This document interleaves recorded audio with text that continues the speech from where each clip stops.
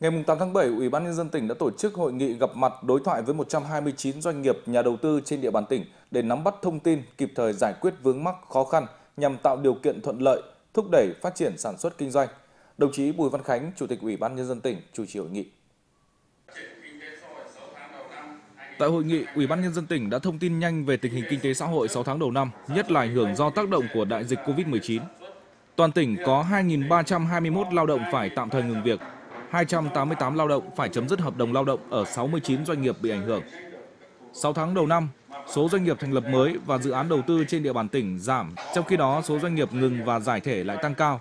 Do đó, Ủy ban nhân dân tỉnh mong muốn thông qua đối thoại để nắm bắt được những khó khăn vướng mắc và kiến nghị của doanh nghiệp, từ đó có những giải pháp chỉ đạo xử lý kịp thời và ban hành những chính sách phù hợp nhằm hỗ trợ doanh nghiệp vượt qua khó khăn, ổn định hoạt động sản xuất kinh doanh. Tại hội nghị, cộng đồng doanh nghiệp, nhà đầu tư đã nêu nhiều kiến nghị về quy hoạch sử dụng đất, quy hoạch xây dựng và một số quy hoạch khác chưa thống nhất và sát với thực tiễn, gây khó khăn khi giải quyết chủ trương đầu tư.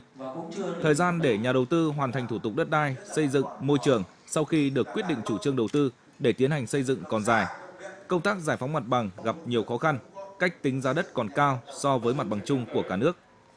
Các tôi đã hoàn toàn hoàn thành được cái quy hoạch toàn bộ dự án rồi. Tuy nhiên là công ty chúng tôi bị một cái sơ suất là dự án tôi được nghiên cứu theo yêu cầu của tỉnh chỉ được có 3 tháng rồi.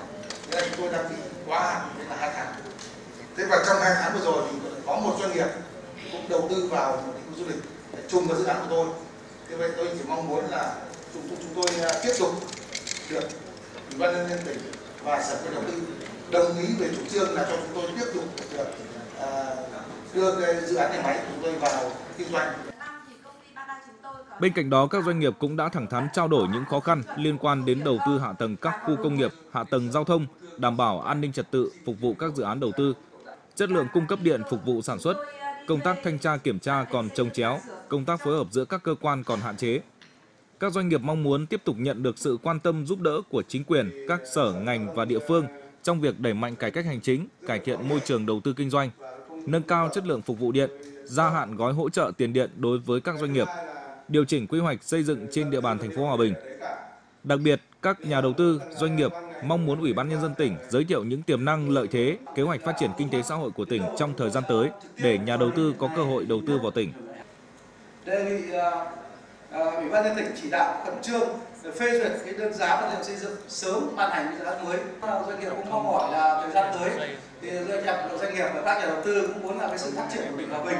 à, của cái kỳ trung hạn nhiệm kỳ mới. Thì cũng mong là đồng chí cũng giới thiệu tiềm năng phát triển của tỉnh hòa bình cho các nhà đầu tư. Hôm nay cũng có một số doanh nghiệp ở đây. Để xem là tới đây thì uh, hiện nay ví dụ như chúng tôi cũng biết là hòa bình đầu tư bao nhiêu dự án lớn các tập đoàn lớn về đây đã triển khai đến những cái gì. Và hiện nay cái kết nối giao thông của tỉnh Hòa Bình hiện nay là đã đến đâu.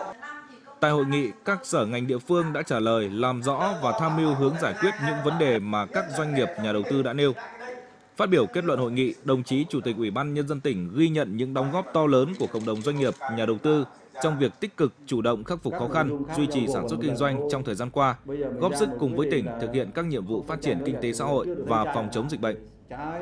Trên cơ sở kết quả đã đạt được trong thời gian tới, đồng chí Chủ tịch Ủy ban Nhân dân tỉnh cam kết sẽ chỉ đạo các cơ quan chuyên môn nghiên cứu, giải quyết kịp thời, triệt để các nội dung đề nghị của doanh nghiệp. Thì bây giờ tôi đề nghị hai cái việc lớn tôi đề nghị doanh nghiệp phải tham gia. Một là quy hoạch xây dựng. Chúng tôi dành ưu tiên rất nhiều cái nguồn lực để cho quy hoạch các cái vùng đô thị thôi. Còn quy hoạch cả tỉnh thì không có tiền để làm. Thành phố Hòa Bình và nhập Kỳ Sơn vào là một hoạch rất lớn. Rồi các thị trấn đang đang đang đang đang điều chỉnh lại quy hoạch của mình nó liên quan các dự án đầu tư các đồng chí đấy không thì sẽ đối chiếu quy hoạch lại không có, lại không làm được cái thứ hai là quy hoạch sử đất hai cái này thì tỉnh đang triển khai, huyện đang triển khai thứ ba là vấn đề giải phóng mặt bằng. Bây giờ có hai cơ chế. Một là áp giá trả nước thu hồi đất và bồi thường. Đối với một số dự án theo quy định luật đất đai có quy định như vậy. Cái thứ hai là thỏa thuận. Nhưng mà đây nó lại mắc. Đấy. thì có lẽ là phải giao một bản để giao ủy ban các huyện. Nên có một cái, cái tuyên truyền cho nó có cái khung như thế mà một số huyện đã làm rồi. Đấy, một lần nữa chúng tôi xin được kêu gọi các doanh nghiệp đây, các các chị những người đông đầu của doanh nghiệp đây, chúng ta phải nỗ lực hơn, để các anh ờ, chủ động hơn, để làm thế nào chúng ta vì cái chung, không vì cái riêng,